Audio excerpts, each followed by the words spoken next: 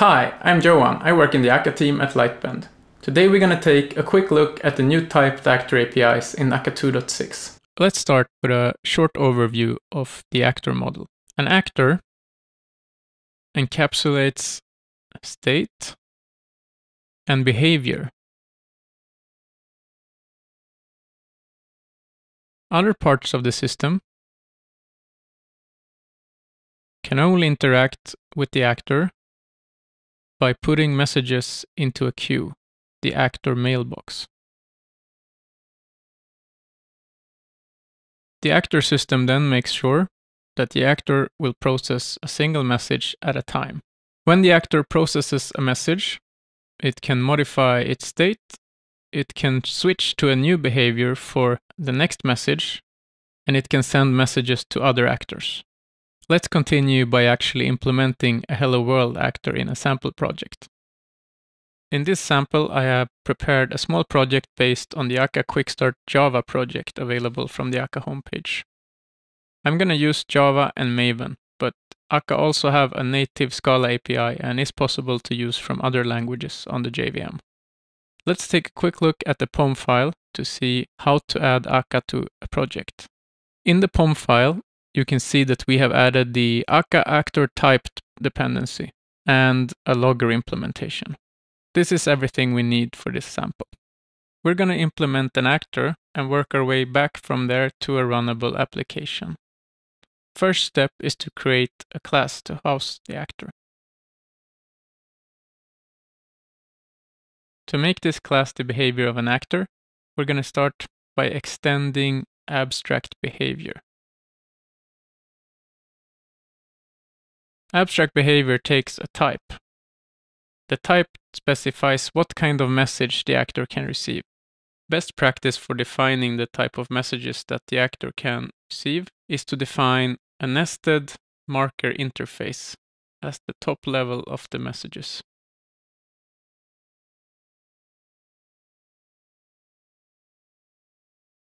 We can then go on and define the actual concrete messages that our actor will accept we're going to define two kinds of messages.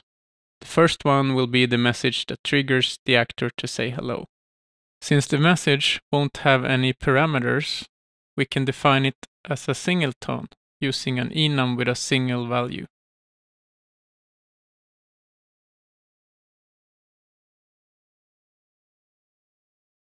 The next message will have a parameter, what the new hello message should be. So let's define that as a class instead.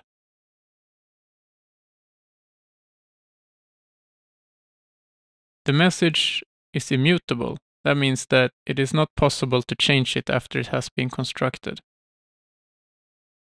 All messages in Akka should be immutable. Since it is immutable, we can skip any getters and setters and instead define the fields as public final fields.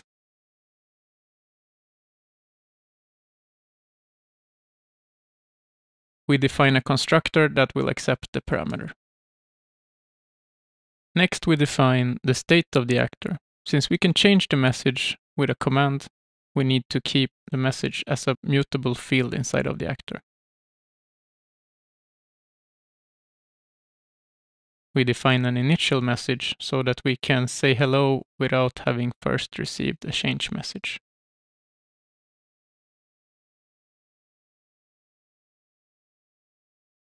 Now we will define the actual logic that is triggered when we receive a message.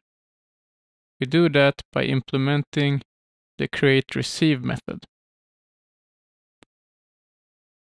Defining the receive is done through a builder that we can create with the new receive builder method. For each message type that we will be able to receive, we will define a handler.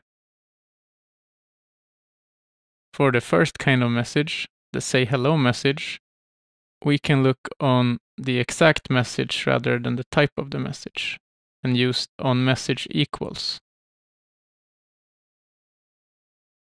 The next parameter to on message equals is a lambda that will be invoked whenever the message is received to the actor. Best practice is to define these callbacks as methods on the class rather than inline lambdas, as lambdas can grow very big quickly.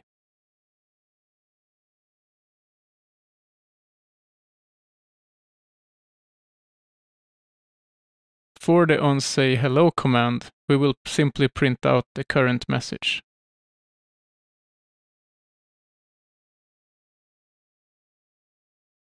When we are done processing the command, we must also say which behavior will be used for the next message that the actor receives. In this case, we are not switching behaviors, so we will simply return the current behavior, which is the instance of the Hello World class itself. When we receive the change message, we will match the message on its type, and then we will look at the fields of the class.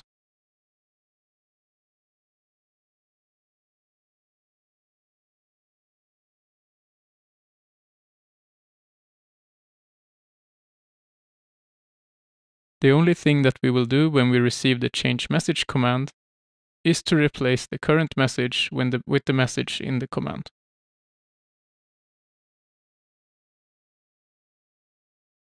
For the change message command, we will also want to stay with this same behavior.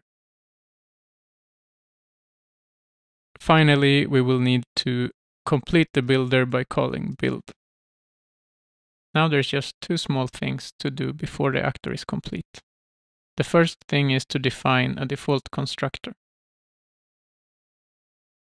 I'm going to make it private because the next step will be to make a public factory method. The superconstructor will require an actor context, so we must also take that actor context as a parameter.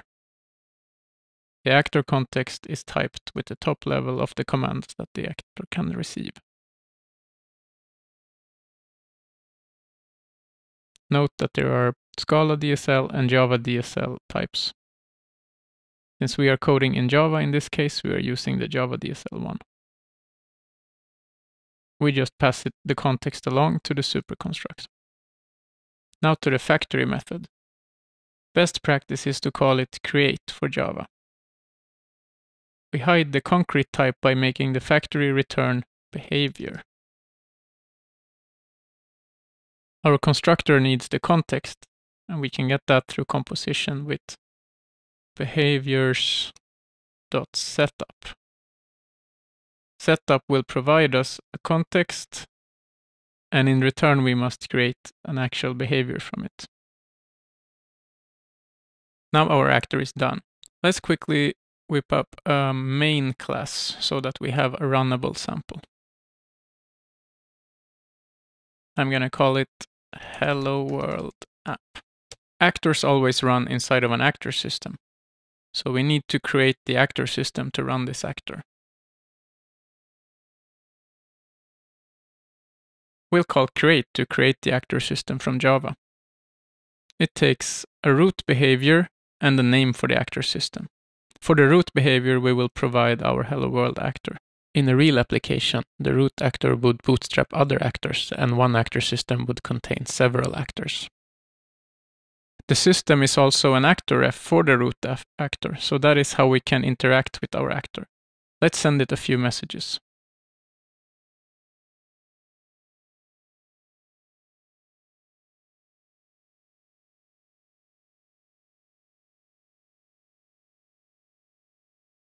Finally, let's run the application so we can see that it works.